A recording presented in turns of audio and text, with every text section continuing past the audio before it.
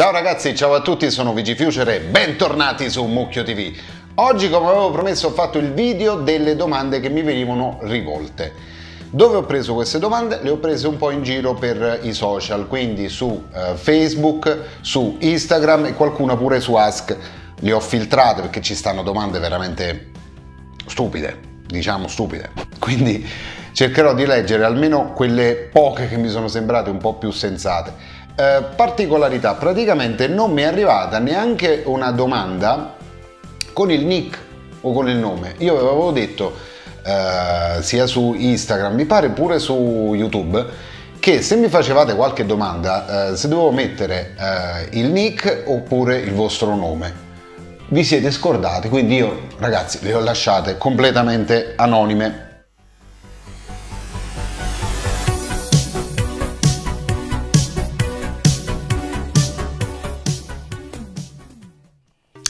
prima domanda. Ciao VG, ti ho scoperto in giocoterapia. Madonna. Volevo chiederti come hai conosciuto i, Q- i QDSS. Allora ragazzi, io questa domanda qua eh, l'ho già risposta in un altro video, eh, però la ripeto perché magari uno, capisci, mi, mi, segue da poco, quindi non lo sa. Allora, io ho eh, conosciuto la prima volta i QDSS tramite un messaggio che ho mandato loro, più precisamente a Nicola e a Redez. Questo messaggio conteneva un uh, video uh, che avevo doppiato di una serie tv, mi pare Le tre rose di Eva, se volete magari lo lascio in descrizione, questo video uh, sta sul mio profilo Instagram o sulla pagina, non mi ricordo bene. Comunque Nicola ha visto questo video, gli è piaciuto Successivamente eh, mi ha detto che poi mi avrebbe magari ricontattato se facevano qualcosa. Poi sono andato a vedere il primo spettacolo eh, dei QDSS a Isernia e per caso l'ho incontrato, pensate un po', in pizzeria che con un'altra ragazza che saluto se mi sta eh, guardando e così per caso quindi è stato il primo contatto con i QDSS quindi con Nicola per la verità perché poi ho visto lo spettacolo e ho posto una domanda pure a Sinergo a Mario quando, stavamo, eh, quando io stavo tra il palco tra le persone gli ho chiesto come aveva perso come aveva fatto a perdere così tanti chili. Vabbè non mi dilunghiamo comunque questa insomma è la storia.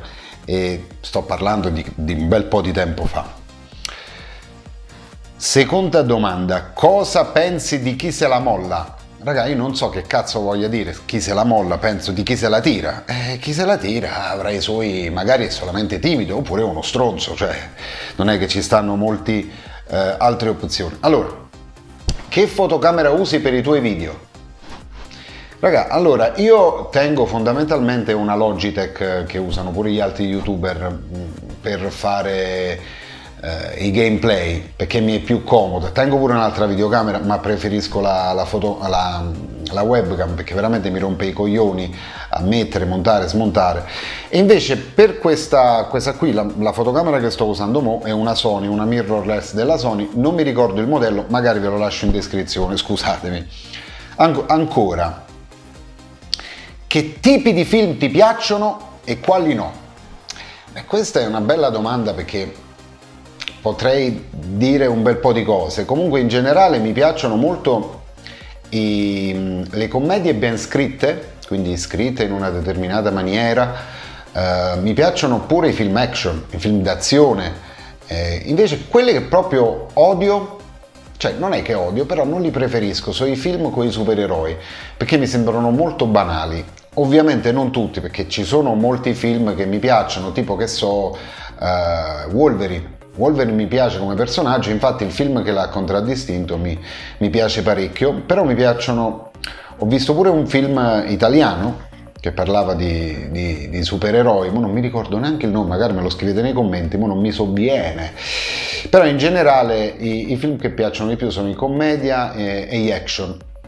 Gli horror mi sto avvicinando un po' alla volta eh, grazie a un mio amico Angelo che me l'ha fatto scoprire un po' di tempo fa e quindi mi ha fatto appassionare alla saga horror, però soprattutto quelle di serie B perché diciamo eh, gli altri tipi l'ho, vi, l'ho, visti, però in generale non, non mi hanno mai ispirato più di tanto perché di base un horror dovrebbe fare paura.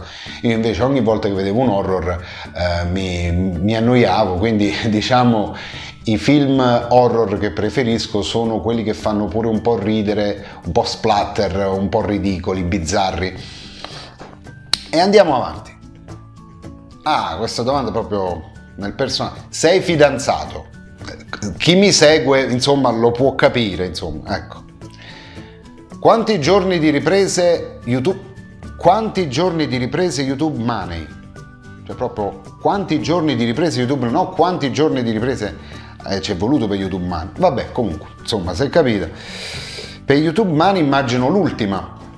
Allora, l'ultima YouTube Money 3 che eh, orientativamente uscirà ad aprile sono stati fatti in totale circa due settimane, però sto parlando del periodo più stretto perché non parlo ovviamente della post-produzione, del montaggio, tutto che veramente è un casino di tempo. Insomma, le riprese vive sono state due settimane, per quanto mi riguarda invece forse sono stati 5-6 giorni in tutto? Non lo so ragazzi, veramente non mi ricordo. Comunque in, du- in tutto sono state due settimane. Videogames preferito? Eh, bella domanda, cioè giochi preferiti? Allora, amo molto gli open world, che si può girare, si può spaziare. Come multiplayer mi piace pure quel genere là. Uh, ovviamente questo canale quando è nato eh, si è ispirato proprio a un gioco in particolare, sto parlando di Red Dead Redemption, da cui è nato un clan, e quindi poi è nato questo canale che gestisco io. E quindi direi i giochi così, però non disdegno pure le, le avventure grafiche. Diciamo che come gioco preferito posso dire sicuramente gli open world, eh, mi piacciono pure gli FPS Arena, però non sono bravissimo, però se giocati eh, in, in un certo modo mi piacciono, magari con qualche amico. Hai profilo Steam? Eh sì, ce l'ho il profilo Steam, mi pare che l'ho lasciato pure nel, nella descrizione tra i link, non mi vorrei sbagliare.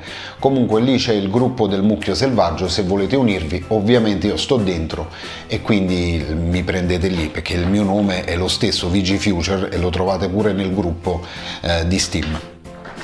Ancora, cosa ne pensi delle Olimpiadi dei videogame? Le Olimpiadi dei videogame immagino che sia stata una delle ultime notizie che sono uscite, cioè quella là che eh, hanno fatto diventare i videogame disciplina olimpionica. Mi pare che questo lo, lo, l'ho pure spiegato, eh, però generalmente io credo che sia una, una buona trovata, una buona idea.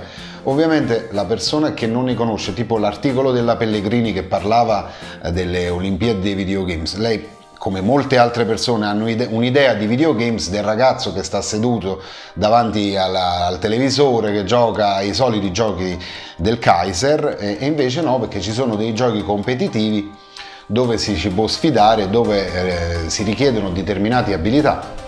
Io voglio dire io sono pure un preparatore atletico e eh, ho fatto scienze motorie, ho diversi corsi fatti al CONI, quindi diciamo di cultura fisica qualcosina ne so e vi assicuro che se una persona non è allenata pure a livello fisico, a videogame non riesce a giocarci.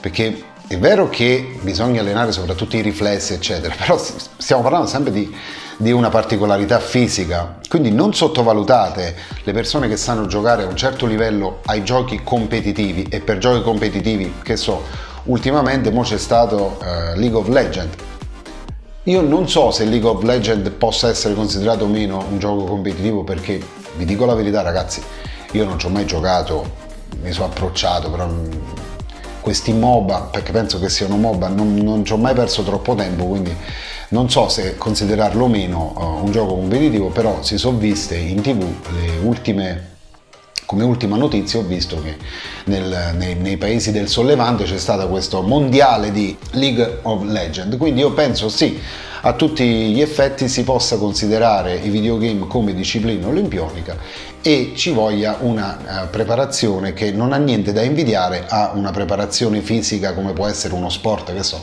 del calcio, del, del nuoto o quant'altro, semplicemente eh, bisogna allenarsi in quella maniera, bisogna avere quella filosofia di vita perché lo sport è una filosofia di vita. E Badate bene, non è assolutamente vero che chi gioca a videogame a livello competitivo deve semplicemente mettersi davanti al televisore dalla mattina alla sera e perdere le sue giornate lì, perché vi assicuro che quella persona lì assolutamente brava non diventerà mai, perché se non si allena pure a livello fisico Ragazzi, eh, c'erano altre domande, però in generale queste qui mi sono sembrate, insomma, tra tutte le, le, più sensate, anche perché molte si sono ripetute, tipo un sacco di persone mi hanno chiesto, ragazzi e ragazze, se, se, sono fidanzato, ragazzi, se mi seguite sul mio profilo Instagram riuscite a capire se sono fidanzato o meno, insomma, non, non sono domande che secondo me debba dire, anche perché a me non è che mi piace troppo parlare della mia vita privata.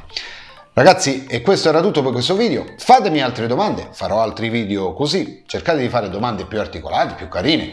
Io non ho nessun problema a leggere. Lasciatevi pure il vostro nick, altrimenti io non so chi nominare, eh, se il nome o il nick. E noi ci vediamo la prossima volta.